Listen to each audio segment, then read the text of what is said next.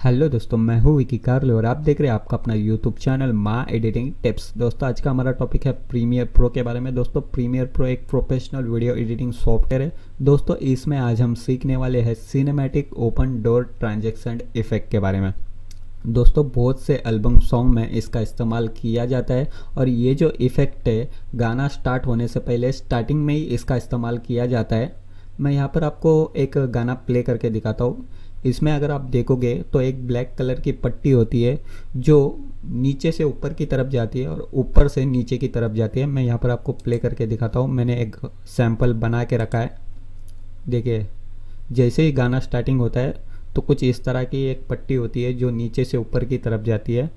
तो इसको कहते हैं cinematic open door transaction effect तो दोस्तों, इस तरह का transaction transaction effect Premiere Pro के ज़रिए आप देख सकते हैं। तो चलिए प्रीमियर प्रो को ओपन करते हैं। ओपन करने के बाद कुछ इस तरह का इंटरफेस आता है। तो यहाँ पर हमें सबसे पहले वीडियो को ऐड करना है। तो यहाँ पर देखिए इंपोर्ट मीडिया टू स्टार्ट लिखा है। यहाँ पर आपको डबल क्लिक करना है। फिर यहाँ पर आपको वीडियो को ऐड करना है। ठीक है? वीडियो को ऐड करने के बाद यहाँ पर वीडियो आ जाएगा। वीडियो को ड्रैग एंड ड्रॉप करके आपको टाइम लाइन पर लाना है। टाइम लाइन के टाइम लाइन पर लाने के बाद यहाँ पर आपको इफ़ेक्ट को ऐड करना है। तो इफ़ेक्ट को ऐड करने के लिए आपको क्या करना है? यहाँ पर देखिए मीडिया ब्राउज़र लिखा है, देखिए, यहाँ पर एक एरो है। यहाँ पर एरो पे क्लिक करना है इफ़ेक्ट वाले ऑप्शन पे क्लिक करना है। इफ़ेक्ट वाले ऑप्शन पे क्लिक करने के बाद यहाँ पर एक सर्च बार आ जाएगा। यहाँ पर आज आपको सर्च करना है। बार में सर्च करना है। बी ए आर एन तो यहाँ पर एक इफ़ेक्ट आ जाएगा बर्नर डोर्स करके। तो इस वाले इफ़ेक्ट को आपको ड्रैग एंड ड्रॉप करना है और आपके वीडियो में यहाँ पर ऐड कर देना है। तो दोस्तों यहाँ पर देखिए, जैसे हमने इफ़ेक्ट को ऐड किया, यहाँ पर इफ़ेक्ट हमारा आ चुका है। मैं यहाँ पर थोड़ा सा छोटा करता हूँ। यहाँ पर देखिए, यहाँ पर लिखा हुआ है बर्नर डोर्स करके। तो यहाँ पर आपको क्या करना है, इस वीडियो को सिलेक्ट करना है। जैसे आप वीडियो को सिलेक्ट करेंगे, यहाँ पर एक ऑप्शन आ जाएगा इफ़ेक्ट कंट्रोल वाला, ठीक है? तो चलिए मैं थोड़ा सा इफ़ेक्ट को प्ले करके दिखाता हूँ।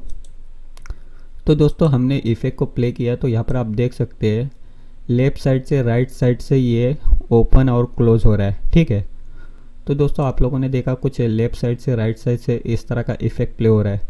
तो गाने में इस तरह का इफ़ेक्ट नहीं रहता है, लेफ़्ट साइड से, राइट साइड से, टॉप साइड से रहता है। तो टॉप साइड से करने के लिए हमें क्या करना है, यहाँ पर देखिए एक इमेज है, यहाँ पर देखिए टॉप साइड वाले ऑप्शन पे क्लिक करना है। जैसे आप टॉप साइड वाले ऑप्शन पे क्लिक करते हैं, हमारा इफ़ेक्ट टॉप साइड से ओपनिंग होएगा। यहाँ पर मैं आपको प्ले करके दिखाता हूँ, यहाँ पर देखिए, नीचे से ऊपर की तरफ़ जा रहा है, ठीक है?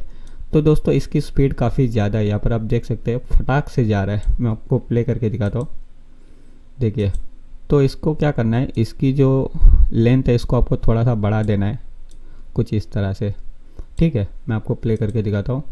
तो यहाँ पर देखिए, अब दोस्तों, यहाँ पर अगर आप, इसको एक बॉर्डर देना चाहते हैं तो बॉर्डर भी दे सकते हैं। यहाँ पर देखिए बॉर्डर वाला ऑप्शन है। यहाँ पर आपको है ना डबल क्लिक करना है। यहाँ पर टेन कर देता हूँ, ठीक है? तो यहाँ पर मैंने टेन कर दिया है। अब बॉर्डर का कलर भी आप चेंज कर सकते हैं। तो यहाँ से मैं क्या करूँगा वाइट कलर सेलेक्ट करूँगा। आप भी वाइट कलर सेलेक्ट कीजिए, ठीक है? तो कुछ इस तरह का बॉर्डर बन जाएगा यहाँ पर, देखिए। अब मैं आपको प्ले करके दिखाता हूँ। तो ये प्ले करने के बाद कुछ इस तरह से ऊपर से नीचे की तरफ़ जाएगा, नीचे से ऊपर की तरफ़ जाएगा। यहाँ पर आप देख सकते हैं। इस तरह का इफ़ेक्ट आप लोगों ने काफ़ी एल्बम सॉन्ग में देखा होगा, ठीक है? तो मैं यहाँ पर अभी आपको एक बार वीडियो प्ले करके दिखाता तो हूँ। यहाँ पर देखिए, कुछ इस तरह से इफ़ेक्ट बन जाता है सिनेमैटिक ओपन डोर का। तो दोस्तों, इस तरह से आप अपने एल्बम सॉन्ग में या फिर वीडियो में सिनेमैटिक ओपन डोर इफ़ेक्ट का इस्तेमाल कर सकते हैं। तो दोस्तों, यदि आपको हमारी ये वीडियो अच्छा लगा तो दोस्तों हमारे चैनल को लाइक कीजिए, शेयर कीजिए और सब्सक्राइब कीजिए। दोस्तों, सब्सक्राइब करने से हमारी आने वाली वीडियो की जानकारी आपको मिलती रहे।